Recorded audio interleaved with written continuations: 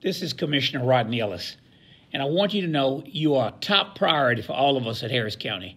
As the COVID 19 pandemic continues to threaten our health and economy, many of you are worried about keeping your family healthy while trying to pay your rent, your light bill, and your car payment. Working families, small business owners, those who were laid off during this crisis, Precinct 1 in Harris County is here to assist you in your time of need. As a community, we're all connected. Food continues to be the number one priority for many of our residents. Over the holiday weekend, I visited the Houston Food Bank and saw their staff and volunteers preparing to distribute 440,000 pounds of food that was made possible through the partnership of Precinct 1 and Harris County. Additionally, Precinct 1's community relations team spent the holiday weekend delivering food boxes to those in need.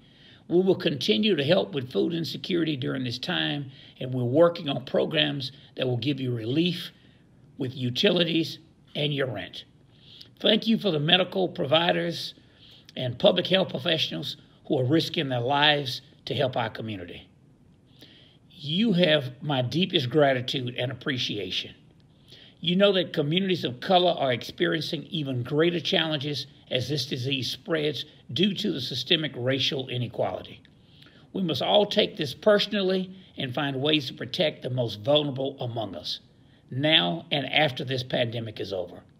When we work together, our entire community thrives. Thank you for staying home, and thank you for taking the time to listen. There are many challenges ahead, but we will get through this together.